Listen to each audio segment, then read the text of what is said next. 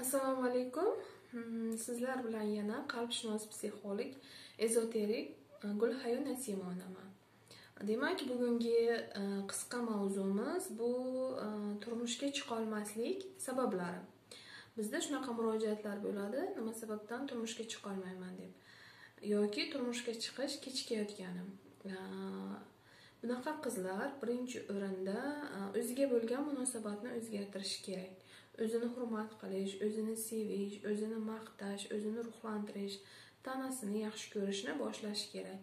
Ikkinchisi otasi bilan bo'lgan munosabatni butunlay hal qilinishi kerak. Ya'ni ota to'liq kechirilgan bo'lishi kerak. Biz e otamku otamdan xafa emasman mayli otamda urishadi xafa qiladi haqqi bor deb o'ylaymiz lekin u xafagarchilik darajasiga o'tib ketgan bo'lsa bu butun erkaklardan xafa bo'lish norozilik darajasiga o'tib ketadi va shu uchun hayotimizda erkak kishi kirib kelishi qiyinlashadi. Demak ota to'liq kechirilgan bo'lishi kerak va keyingisi turmushga chiqishga o'zini loyiq deb bilishi kerak.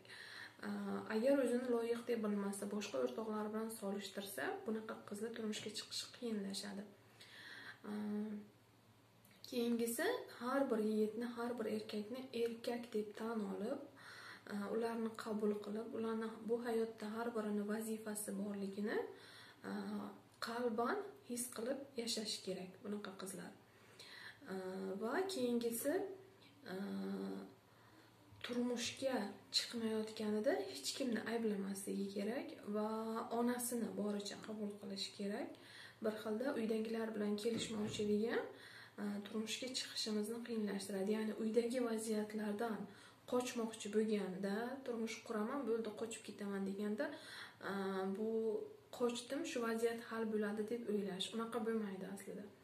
Chunki vaziyat bizda. Biz o'zimiz bilan vaziyatni olib yuramiz qayerga borsak ham.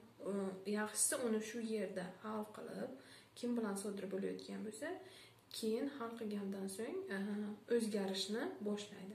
Barchangizga omad tilayman.